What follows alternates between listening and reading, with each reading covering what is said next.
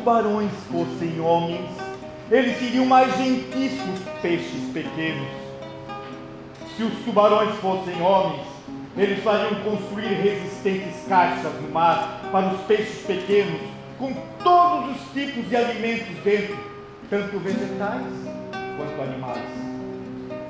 Cuidariam para que as caixas tivessem água sempre renovada e adotariam todas as providências sanitárias cabíveis se, por exemplo, um peixinho ferisse a barbatana, imediatamente ele faria uma atadura que não morresse antes do tempo. Para que os peixinhos não ficassem tristonhos, eles dariam cai lá, cresta aquática, cujos peixes alegres têm gosto melhor do que os tristonhos.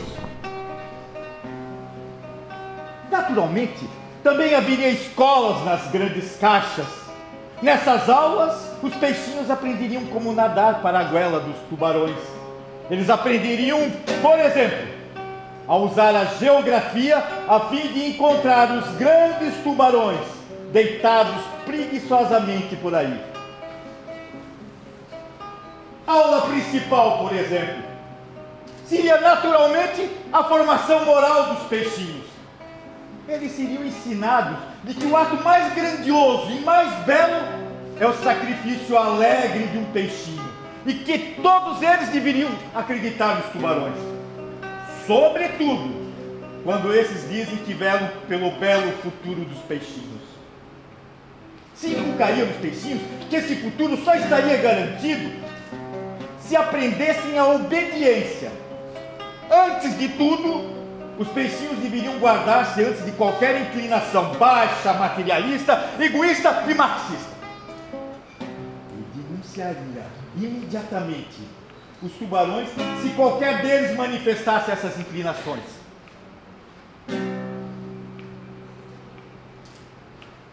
Se os tubarões fossem homens, eles naturalmente fariam guerra entre si, a fim de conquistar caixas de peixes pequenos e peixinhos estrangeiros. As guerras seriam conduzidas pelos seus próprios peixinhos. Eles ensinariam os peixinhos que entre os peixinhos e outros tubarões existem gigantescas diferenças. Eles anunciariam que os peixinhos são reconhecidamente mudos e calam nas mais diferentes línguas, sendo assim impossível que entendam um ao outro. Cada peixinho que na guerra matasse alguns peixinhos inimigos da outra língua, silenciosos, seriam condecorados com uma pequena ordem das algas e receberiam o título.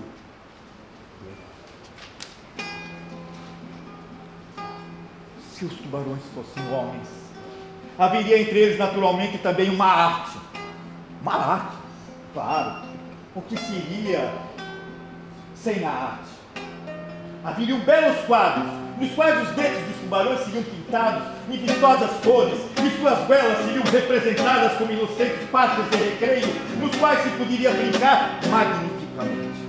Os teatros do fundo do mar mostrariam como os valorosos peixinhos nadam entusiasmados para as goelas dos tubarões. A música seria tão bela, tão bela, que os peixinhos sob seus acordes e a orquestra na frente entrariam em massa para a goela dos tubarões, sonhadores e possuídos pelos mais agradáveis pensamentos.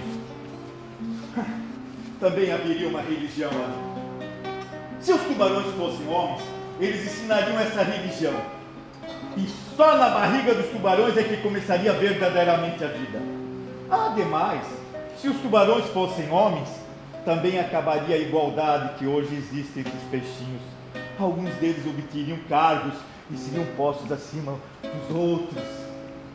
Alguns seriam engenheiros, professores, catedráticos, arquitetos, empresários, pequenos empresários. Pois eles, mesmo assim, obteriam mais constantemente maiores bocados para devorar.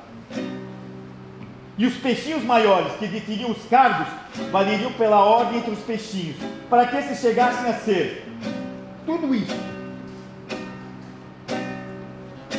Curto e grosso. Só então, senhores, haveria civilização no mar, se os homens fossem tubarões. Se os homens fossem tubarões, se os homens fossem tubarões, se os homens fossem tubarões,